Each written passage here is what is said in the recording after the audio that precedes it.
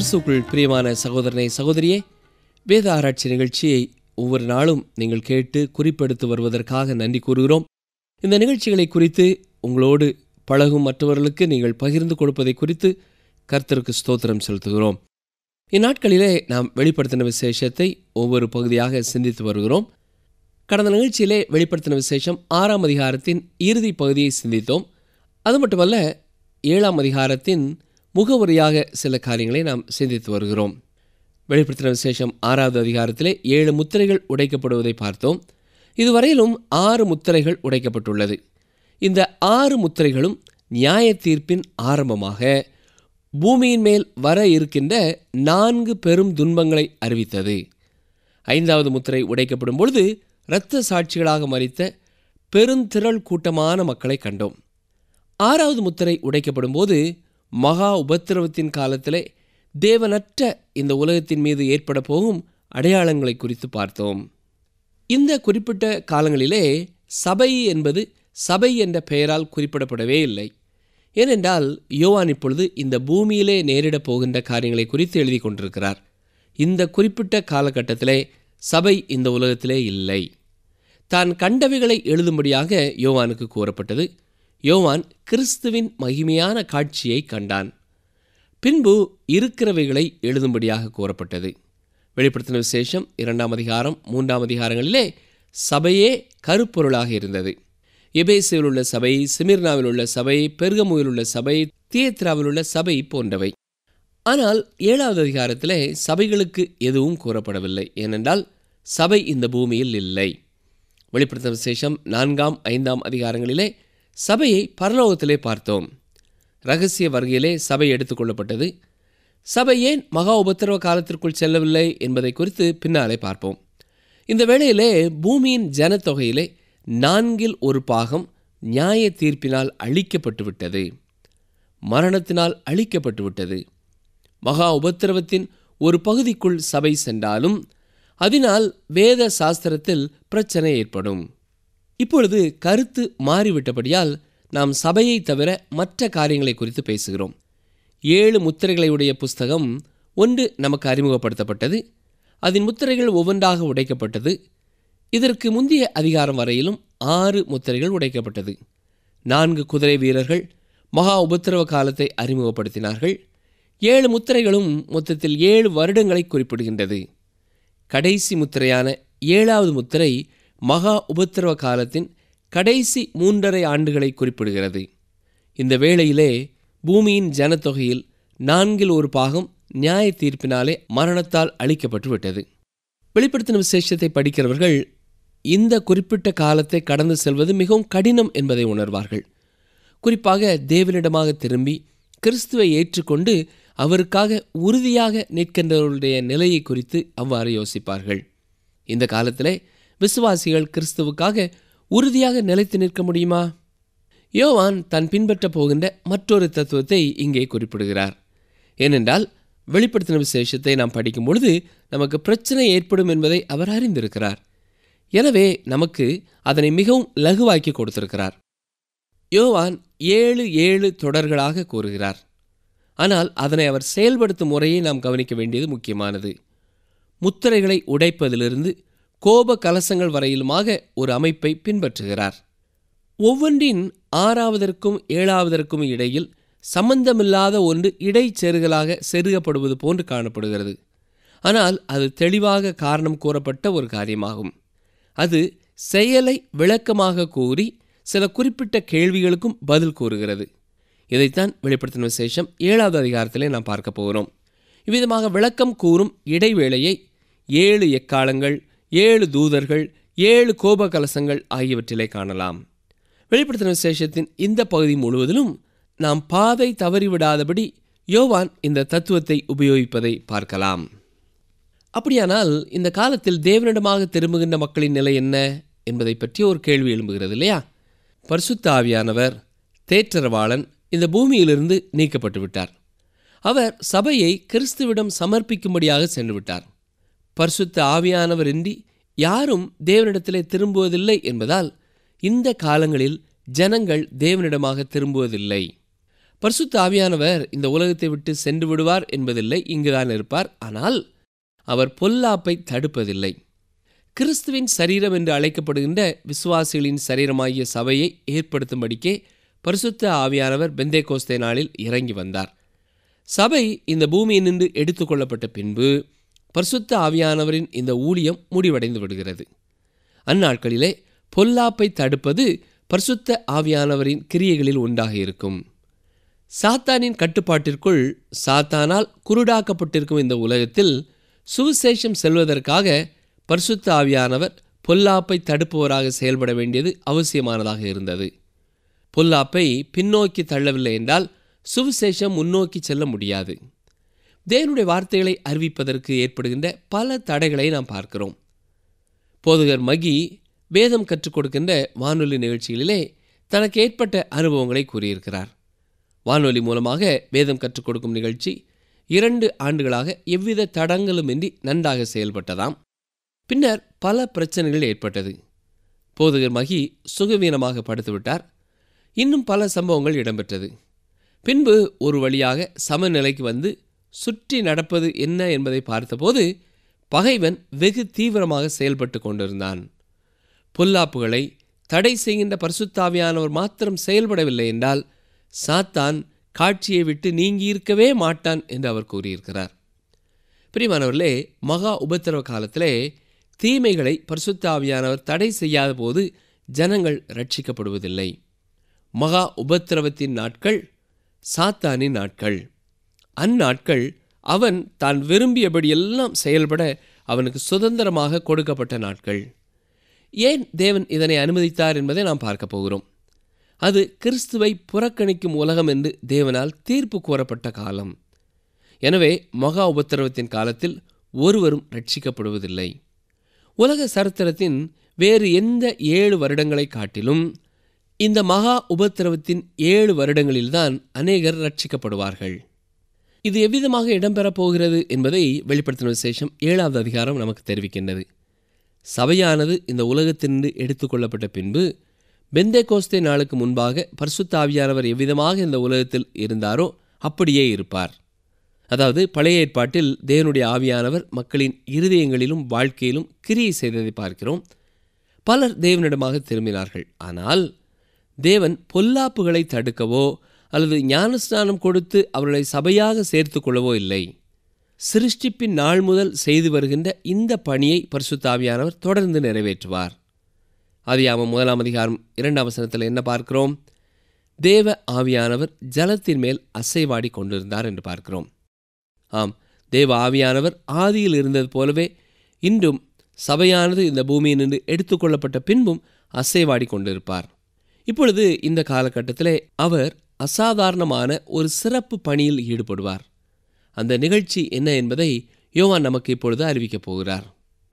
ஆறாவது முத்திரையை உடைத்து பின்னர் ஏழாவது முத்திரையை உடைப்பதற்கு இடையிலே இந்த இடை செருகலுக்கான காரணம் என்ன என்பதை வெளிப்படுத்தின விசேஷம் ஏழாவது அதிகாரம் முதல் மூன்று வசனங்களிலே நாம் பார்க்கலாம்.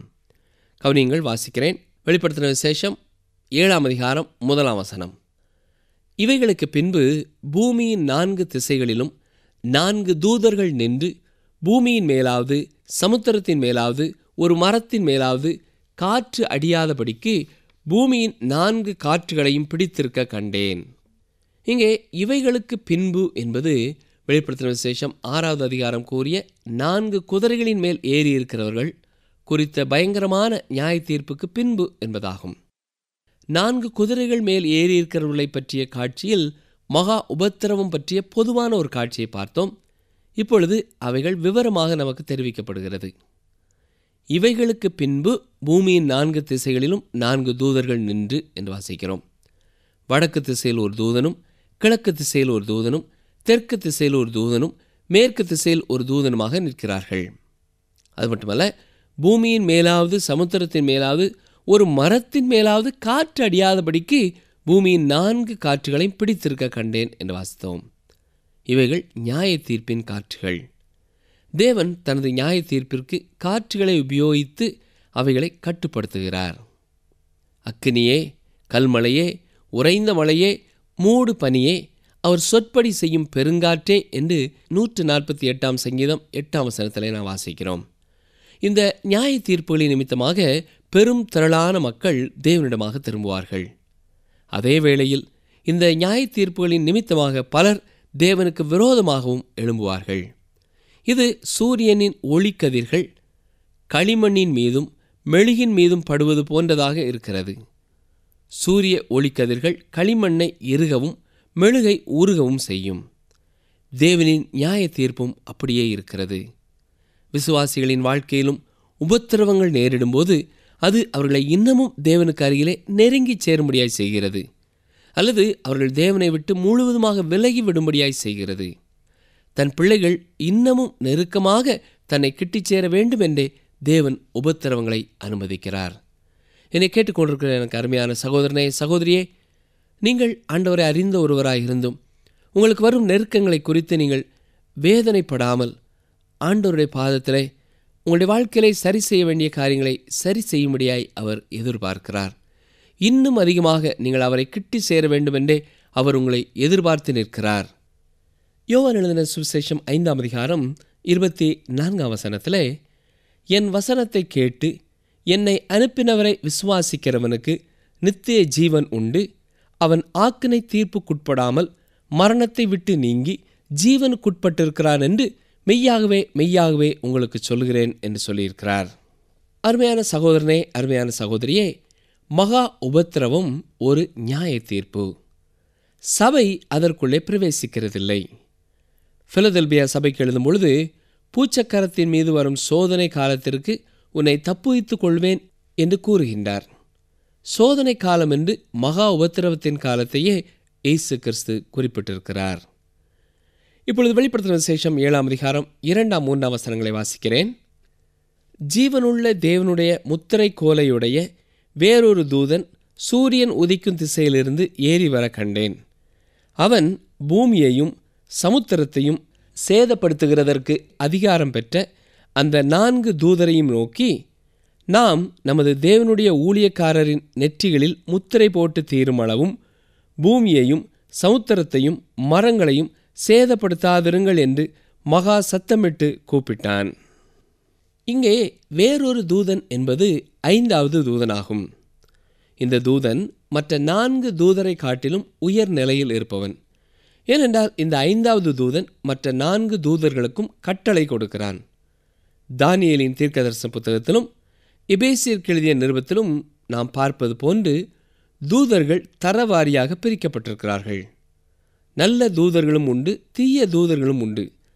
சாத்தான் தனது பிசாசு ராஜ்யத்தை சிறப்பாக நிர்வகித்திருக்கிறான். தேவனும் தனது தூதர்களை தரம் பிரித்து ஒழுங்குபடுத்தி வைத்திருக்கிறார். இந்த தேவதூதன் மற்ற நான்கு தூதர்களுக்கும் கட்டளை கொடுக்கிறான். கவனிங்கள் மகா சத்தமிட்டு கூப்பிட்டான் என்று வாசிக்கிறோம். பூமியின் மீது பயங்கரமான அஞ்சத்தக்க நியாய தீர்ப்பு ஏற்பட போகிறது என்பதை இது தெரிவிக்கிறது. பூமியின் மீது வர இருக்கின்ற கோபாக்கினையின் நாளுக்கென்று இவைகள் யாவும் ஆயத்தமாக வைக்கப்பட்டிருக்கிறது. ஏனெனில் உலகம் உண்டானது முதல் இதுவரைக்கும் சம்பவித்திராததும் இனிமேலும் சம்பவியாததுமான மிகுந்த உபத்திரவம் அப்பொழுது உண்டாயிருக்கும். அந்நாட்கள் குறைக்கப்படாதிருந்தால் ஒருவனாயிலும் தப்பிப் போவதில்லை. தெரிந்து கொள்ளப்பட்டவர்களின் நிமித்தமோ அந்த நாட்கள் குறைக்கப்படும் என்று மத்திய எழுதின சுசேஷம் இருபத்தி நான்காம் அதிகாரம் இருபத்தி ஒன்று இருபத்தி இரண்டாம் வசனங்களிலே வாசிக்கிறோம். ஆம் தெரிந்து கொள்ளப்பட்டவர்களின் நிமித்தமாக இந்த நாட்கள் குறைக்கப்படும். அவர்களுடைய நெற்றிகளின் மீது போடப்பட்ட முத்திரை என்பது என்ன? இதற்கு சரியான பதிலை உறுதியாக கூற முடியாது. சில யோசனைகள் வேண்டுமென்றாலும் நாம் கூறலாம். அந்த அடையாளம் என்ன என்பது வேதாமத்தில் குறிப்பிடப்படவில்லை. அந்த அடையாளம் என்ன என்பதை சபை அறிந்து கொள்ள வேண்டிய அவசியமும் இல்லை. முத்திரை போடப்படும் என்பது மாத்திரம் கூறப்பட்டுள்ளது. அந்தி கிறிஸ்துவின் அரசாட்சியில் மிருக சின்னம் பொறிக்கப்படவில்லை என்றால் வர்த்தகம் செய்ய முடியாது என்பதை மாத்திரம் அறிந்திருக்கிறோம். தேவனுடைய இந்த முத்திரை மிருகத்தின் முத்திரைக்கு எதிரானதாக இருக்கிறது. தேவனுடைய பிள்ளைகளின் வாழ்க்கையில் காணப்படுகின்ற ஆவிக்குரிய அடையாளமாகும். அவர்களுடைய கனிகளினாலே அவர்களை அறிவீர்கள். இதுவே அடையாளம். இந்த காலத்தில் தேவனற்றவர்கள் தேவனற்றவர்களாகவே இருப்பார்கள். ஏழாவது முத்திரை உடைக்கப்படுவதற்கு முன்பாக இடையிலே இந்த பகுதி கொடுக்கப்பட்டுள்ளது. ஐந்தாவது தூதன் மற்ற தூதர்களை காட்டிலும் உயர் பதவியில் இருப்பவன் என்பதனால் மற்ற நான்கு தூதர்களையும் நியாய தீர்ப்பின் காற்றுகளை மகா உபத்திரவ காலத்தின் காற்றுகளை உறுதியாக பிடித்து கொள்ளும்படி கூறுகிறான்.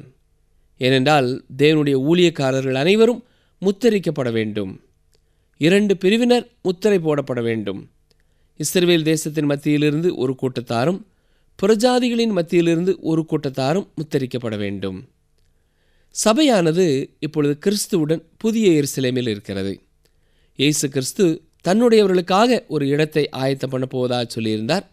இப்பொழுது அவர்களை இந்த பூமியில் நின்று பிரித்தெடுத்து தன்னுடன் வைத்து கொண்டார். வெளிப்படுத்தின விசேஷத்திலே இந்த பட்டணம் தேவனிடத்திலிருந்து இறங்கி வருகிறது என்று குறிக்கப்பட்டிருக்கிறது. இதை குறித்து நாம் பின்னாலே பார்ப்போம். முத்திரையிடப்பட்டவர்கள் மகா உபத்திரவ காலத்திற்குள்ளாக கடந்து செல்வார்கள் என்பதை உறுதிப்படுத்தவே ஆறாவது முத்திரை உடைக்கப்பட்ட பின்பு ஏழாவது முத்திரை உடைக்கப்படும் முன்பாக இந்த பகுதி இடையிலே கொடுக்கப்பட்டுள்ளது. முத்திரையிடப்பட்டவர்கள் மகா உபத்திரவ காலத்தின் உபத்திரவங்களின் மத்தியில் தேவனுக்கென்று உறுதியாக நிற்பார்கள் என்பதை ஆண்டவராய் இயேசு தெளிவாக கூறுகிறார்.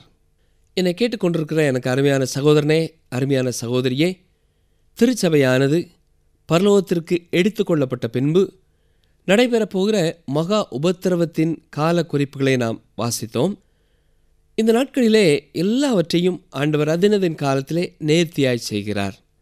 மகா உபத்திரவம் இந்த உலகத்திலே ஆரம்பிக்கப்பட்ட பொழுதும் அவருக்கென்று பிரித்தெடுக்கப்பட்டவர்களாக முத்திரையிடப்பட வேண்டியவர்களை குறித்து அவர் ஜாக்கிரதை உள்ளவராய் சரியான நேரத்திலே அவர்களுக்கு முத்திரையிடும்படியாய் செயல்படுகிறார். இன்றும் நம்முடைய வாழ்க்கையிலே தேவன் எந்தெந்த காரியங்களை எந்தெந்த நேரத்திலே செய்ய வேண்டும் என்று திட்டமிட்டிருக்கிறாரோ அதை நிச்சயமாகவே அவர் திட்டமிட்டபடி நடத்துவார். ஒருவேளை நம்மை சுற்றி நடைபெறுகிற காரியங்கள் நாம் நினைப்பது போல இல்லாவிட்டாலும் இப்படிப்பட்ட சூழ்நிலையிலே ஆண்டவர் எப்படி செயல்படுவார் என்ற கேள்விக்குறி நம்முடைய உள்ளத்திலே வரும் காலங்களிலும் கூட அவர் செயல்பட வல்லமை உள்ளவராயிருக்கிறார். ஏனென்றால் எல்லா காரியங்களையும் அவர் தனது கரத்திலே வைத்திருக்கிறார். அருமையான சகோதரனே சகோதரியே உங்கள் வாழ்க்கையை குறித்து உங்கள் வேலையை குறித்து அல்லது உங்கள் பிள்ளைகளுடைய வாழ்க்கை குறித்து அவர்களுடைய எதிர்காலங்களை குறித்து நீங்கள் கலங்கி கொண்டிருப்பீர்கள் என்று சொன்னால் நீங்கள் கலங்காதிருங்கள் என்று ஆண்டவர் சொல்கிறார். ஏனென்றால் அவர் எல்லாவற்றையும் அதின் அதின் காலத்திலே நேர்த்தியாய் செய்கிறார். எல்லாம் நமக்கு எதிராக இருக்கிறது என்பது போல நமக்கு தோன்றினாலும் அவர் செயல்படும் வண்ணமாக எந்தெந்த காரியங்களை தடுத்து நிறுத்த வேண்டுமோ அதை தடுத்து நிறுத்தி அவர் செயல்படுகிறவராயிருக்கிறார். அன்படினாலே அவரிடத்தில் விசுவாசமாயிருக்கிற நீங்கள் தொடர்ந்து விசுவாசமாய் இருங்கள் நீங்கள் மனம் பதற வேண்டாம் நீங்கள் கலங்க வேண்டாம். அவர் இன்றைக்கும் ஜீவனுள்ளவராயிருக்கிறார். ஜெபம் செய்வோம்.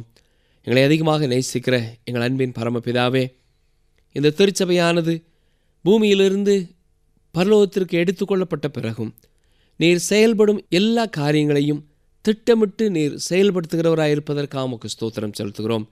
இன்றைக்கும் தங்கள் வாழ்க்கையிலே காரியங்கள் இப்படியா இருக்கிறதே என்று துக்கத்தோடு கவலையோடு இருக்கிற சகோதர சகோதரிகளுக்காக உடைய சமூகத்திலே கடந்து வருகிறோம் ஐயா.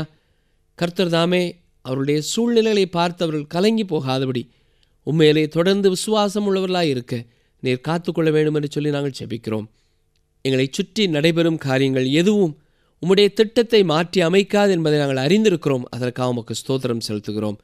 யாராவது கண்ணீரோடு கவலையோடு இருப்பார்கள் என்று சொன்னால் அன்றுவரே நீர் எல்லாவற்றையும் அதினதின் காலத்திலே நேர்த்தியாய் செய்கிற கர்த்தர் என்பதை உணர்ந்து கொள்ளும் உணர்வுள்ள இருதயத்தை இந்த நேரத்திலே தர வேண்டும் என்று சொல்லி நாங்கள் ஜெபிக்கிறோம்.